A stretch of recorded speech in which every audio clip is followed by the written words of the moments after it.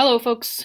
Now we're doing the notes and homework packet, page nine. I'm going to do these examples for you so you can see them one more time, and then hopefully you'll be all set. So, our first formula is MGS. Both of these are regular elements, Mg and S. So, that means that when I write its name, magnesium sulfide. Nothing changes about it, right? Magnesium stays the same. Sulfur becomes the IDE ending. CaBr2. Ca is here, Br is here. Nothing special about either of those. Calcium bromide. Bromine becomes bromide. The first word never changes. Cr. Let's find Cr. Here's Cr, chromium. Oh, it's in the D block, so that means we needed to use Roman numerals chromium something, and then O becomes oxide. To figure out the Roman numerals, we got to figure out the charge. Oxygen, oxygen is here. It has a minus 2 charge. So oxygen, we give a minus 2 charge here. That means that chromium, to balance out that minus 2 charge, has to have a positive 2 charge. So that means chromium becomes chromium 2 oxide. Let's take a look at CuCl2. Cu is here. It's in the D block. Be careful. Cu is copper something, and then Cl chlorine becomes chloride. Let's figure out the charge on chlorine to figure out what the charge is on copper. Cl is here. It has a minus one charge. So that means Cl each one has a minus one charge, but there are two of them. So that means it's a total charge of negative two. That means that this one has a total positive charge of positive two. This is our positive two up here that got a little bit wonky. So positive two for the chlor for the copper. So that means it becomes copper two chloride. Copper two chloride. Let's take a look at the next one, K2CO3. There's more than two elements there, so it's got to be a family. K is a regular one. Our CO3 is a family, carbonate, carbonate. So it becomes potassium carbonate. Normally we change the second part, the second word to an IDE ending, but if it comes from the back as a polyatomic ion, don't change the name. It comes exactly like that, carbonate. The last one, we've got two families. NH4 is ammonium. Ammonium and PO3, PO3 is phosphite. Phosphite endings are really important. Phosphite. Okay, how about doing it backwards? Now, if we have the words, how do we figure out what the symbols are? Aluminum. Aluminum is Al, right? We find aluminum on our periodic table. Aluminum is Al. And chloride is Cl. And you might think, oh yeah, AlCl, I'm all set. But you got to balance the charges.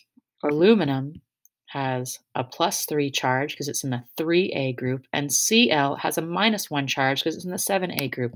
So if aluminum has plus 3 and chloride has a minus 1, if we just write one of each, it's not balanced.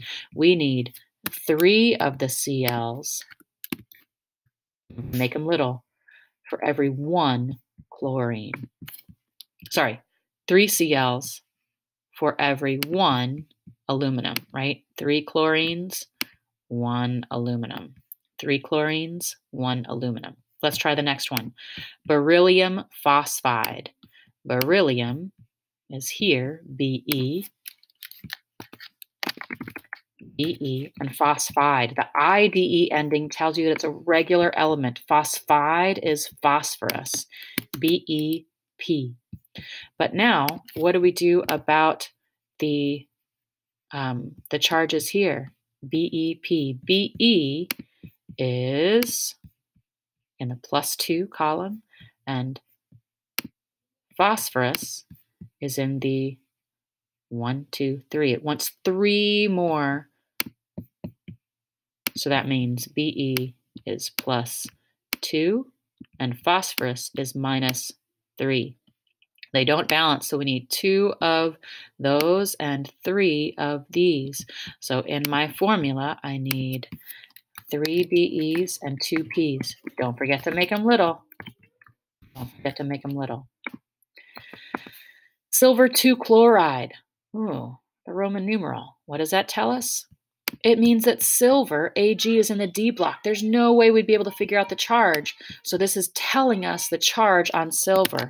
Silver is Ag, chloride is chlorine, Cl. Now let's figure out the charges.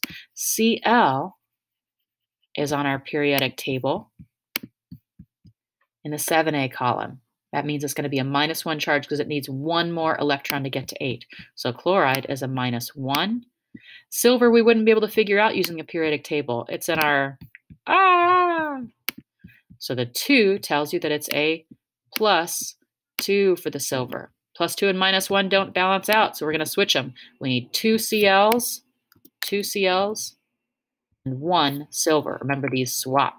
These swap. So 2 CLs, 1 AG.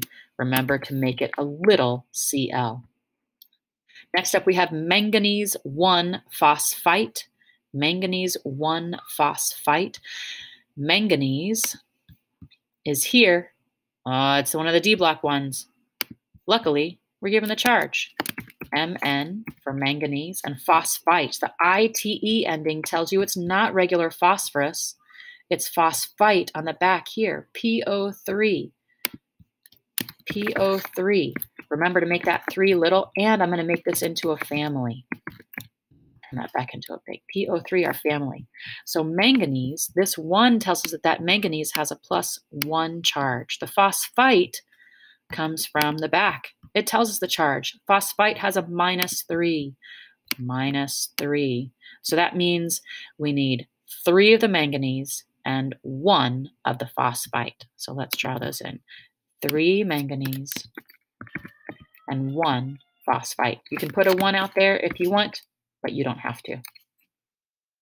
Next up, we have ammonium sulfide. Ammonium, that's one of our special ones. Ammonium is NH4 with a plus one. So I'm going to write in my NH4, making that little, and I'm going to show that this is a plus one, plus one.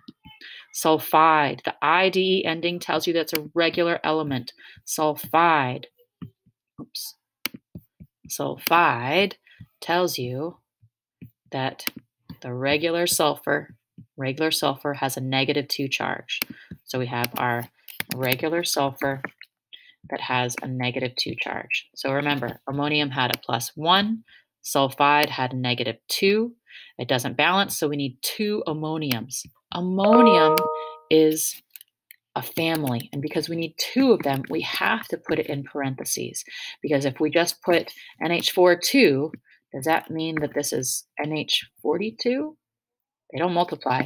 Make sure you use the parentheses and make it regular size. NH4, we need two of the NH4 family to balance out every one sulfide.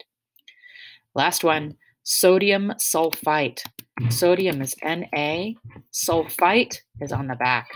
Sulfite is SO3 with a minus 2 charge. SO3 with a minus 2 charge. Don't forget to make that little 3 little.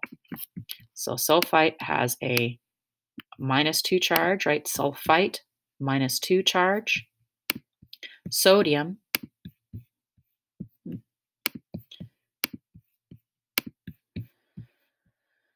Sodium is here. It has a plus one charge. So sodium with a plus one charge. We need two sodiums and one sulfite. Two sodiums and one sulfite. That's it. Good luck.